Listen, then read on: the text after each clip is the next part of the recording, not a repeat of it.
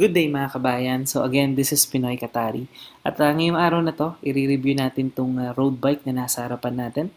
Uh, isa sa mga, kumbaga, nangunguna pagdating sa paggawa ng mga budget and quality road bikes sa market, especially pagdating sa carbon. So ang brand nito is uh, Pardus. Yan, paikutan natin para ma-appreciate nyo yung uh, beauty niya. And then yung model nito is uh, Robin Sport. Uh, I think alam niyo naman na yan dahil uh, Kumbaga, isa to sa mga malakas ngayon sa market sa Pilipinas. And then, by the way, uh, ang body nito is carbon fiber na. Maraming salamat nga pala sa GoPute Bicycle sa pagpapahiram ng uh, road bike na to. Bilang suporta, huwag niyo na lang din kalimutan na i-like ang video na to at uh, mag-subscribe kayo sa YouTube channel natin na Pinoy Katari. So yan, umpisahan na natin. Ang, uh, again, ang model nito is uh, Robin Sport. Yan, nandyan sa upper tube niya. And then sa lower tube niya, makikita niyo yung uh, brand niya na Pardus. Tapos sa frame nito, again, uh, it is made by carbon fiber. Tapos yung mga cable niya is uh, internal routing na. So napakalinis niya at neat tingnan. Meron siyang dalawang lagayan ng battle holder. So kung kailangan na uh, sa long drive, marami kang tubig, wala kang problema dahil uh, meron siyang pwede kang maglagay ng dalawang battle cage. Pagdating sa decals, napakaganda, napakalinis maglagay ni Pardus ng decals yan, no? kapansin-pansin, napakaganda, napakaganda tingnan ng mga decals ni Pardus. Simple lang pero rock kumbaga. So, yan, uh, mapapansin nyo yung uh, body frame ni Pardus, no? Uh, kumbaga integrated na yung mga screws, hindi na siya, kumbaga nakapaloob na hindi mo siya mapapansin. Katulad niyang uh, adjacent ng seat post. Yan. And then sa port niya, naka-rigid yan na carbon din. Tapos mapapansin nyo yung uh, pagka-integrate nung fork sa body is talagang uh, napaka ano, ayos. Walang ka-space-space, walang ka-gap-gap. So, ganun ka meticuloso si Pardus sa pag-assemble, sa paggawa. Talagang, uh, kumbaga, pinag-aralan. And then yung mga parts niya, kung mapapansin nyo, is uh, may logo ni Pardus kasi talagang si Pardus yung uh, nagmamanufacture na totally, mostly nung nakakabit na mga components. Katulad nitong stem, napakaganda.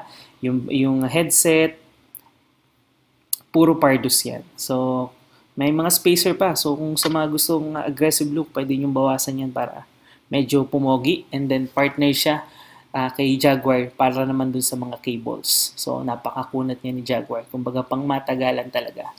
And then, pagdating naman sa brakes, uh, makikita nyo sa video is uh, naka-caliper brake siya, yung B-brake na Tektro. Yan. And then, uh, mechanical, syempre. And then, sa shifter naman niya, naka Shimano 105 na yan. Left and right. Tapos 11 speed yan. By the way, ang exact model nito is, kung hindi ako nagkakamali, is R7000 na Shimano 105. Yan. Napaka-pogi, oh. Kumbaga, sulit na sulit yung binayad mo sa road bike na to. Sa rim set naman niya, uh, ano yan, uh, Pardus pa rin yung may gawa. Ang model is uh, PW na alloy. Ganun din sa likod niya. Yung harap at likod niya is uh, naka-quick release, no? Hindi pa siya boosted o kumbaga naka-true axle. Katulad nung isang ni-review natin na Pardus Gomera Ultra. Yan. So, ang tires niyan is uh, Kenda. Yan, no? Pogi. Napaka, ano, nipis. Talagang, ano na, ready for race na kumbaga. So yan ang sukat niyan ng uh, tires natin. Then uh, punta naman tayo ngayon dito sa ano niya front derailleur niya. Ang front derailleur niya is syempre Shimano 105 pa rin yan men. So talagang straight yan na Shimano 105, di ka lugi. And then pagdating sa crank niya, uh, ano yan, naka pro wheel na RPX na 11 speed, ang teeth niyan is uh, 50 to uh, 34 to 50 teeth. So 2 by yan. Yan. Tapos may BB na rin siya. Yan yung sukat ng ano natin, ng frame natin. Yan, makikita nyo sa video. And then, syempre, yung pedals niya, ordinary lang din. So, palitan nyo na lang din uh, pag sinetup nyo para poging-pogi na. Yung RD niya, yan, syempre, Shimano 105 na 11 speed.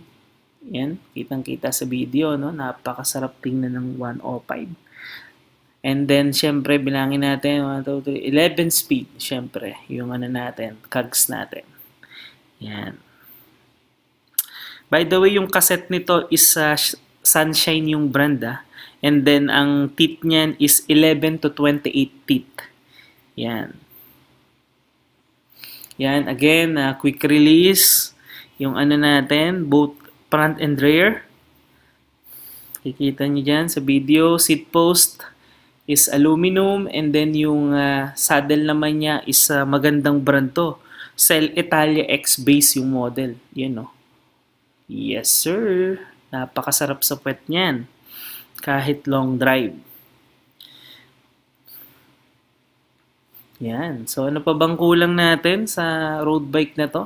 Siyempre, logo ni Pardus. Talagang pinagsisigawan niya na Pardus siya. Kung magkaka-road bike ako, ito yung kukunin ko. Dahil napakagwapo. So, wala naman na tayong nakalimutan mga kabayan. So again, na uh, maraming salamat sa panonood. Kung nagustuhan mo ang video na to, huwag mong kalimutan na i-like at i-share na lang din sa mga tropa natin dyan na naghahanap ng quality na road bike at carbon fiber na. Huwag nyo na rin din kalimutan na mag-subscribe sa YouTube channel natin na Pinoy Katari.